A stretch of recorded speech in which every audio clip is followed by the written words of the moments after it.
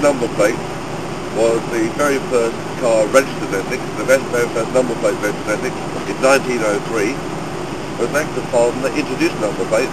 It was a road safety act, which also introduced speed limits and other things. Um, so it's a very historic number plate. It's one of the first, or perhaps the first, number plate registered in the whole of the UK. It's been on our shelf in Essex. It's not, it was, we thought it was much better to use what's very valuable number plate for money, to use it for road safety now.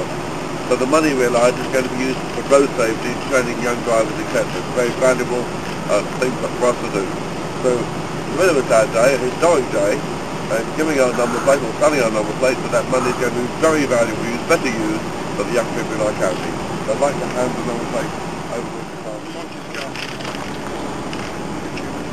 Any other questions?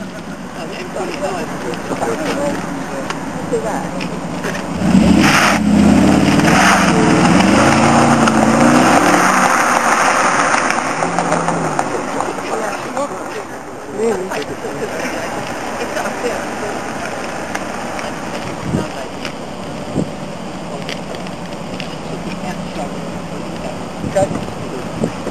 yeah.